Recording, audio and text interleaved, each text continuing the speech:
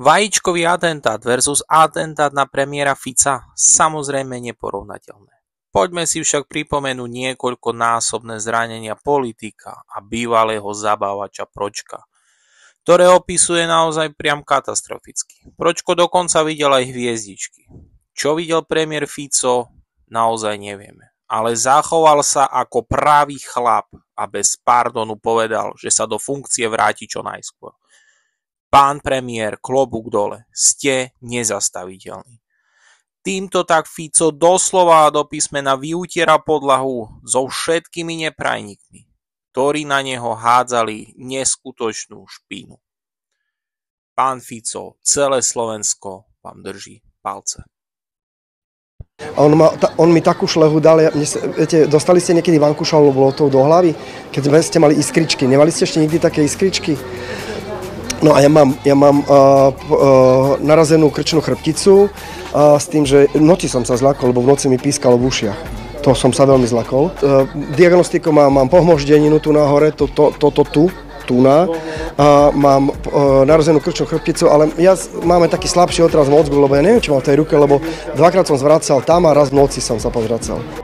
Ak všetko pôjde optimálne, postupne by som sa do práce mohol vrátiť e, na prelome ju, že akékoľvek násilné a nenávisné excesy proti legitímnej vládnej moci sa na medzinárodnej úrovni tolerujú bez akéhokoľvek komentára. Opozícia nebola schopná posúdiť, pretože ju k tomu nikto nenútil. Kam svojou agresívnou a nenávisnou politikou dostala čas spoločnosti. A bola iba otázka času, kedy dôjde k tragédii. A dnes som už konštatoval, že po tom, čo sa mi stalo 15. mája, kedy som v Handlovej nešiel do davu, ale k malej skupine priateľsky mávajúcich ľudí, by som mal byť plný zlosti, nenávisti a pomstichtivosti. Odpor proti politikovi, s ktorým nesúhlasíte, sa nerieši tak, že ho zastrelíte.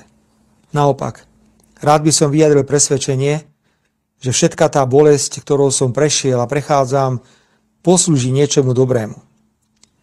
Ľudia mohli na vlastné oči vidieť, aká hrôza môže nastať, ak niekto nie je schopný demokraticky súťažiť a rešpektovať iný názor.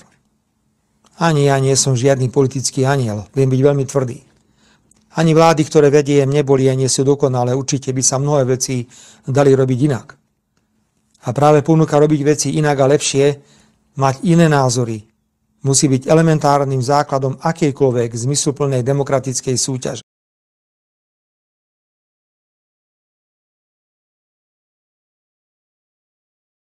Ponukou nemôže byť oponenta bezdôvodne zatvoriť alebo zákrene zabiť.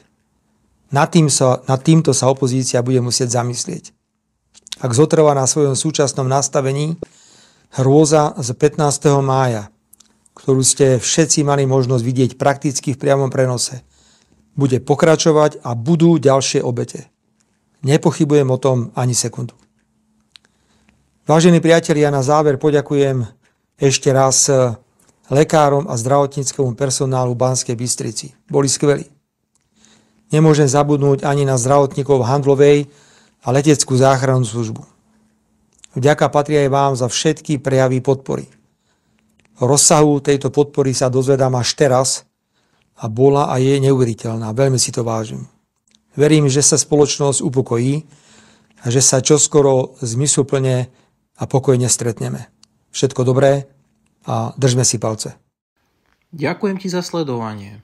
Budem rád za like, odber a sledovanie skupín, ktoré nájdeš v popise pod môjim videom.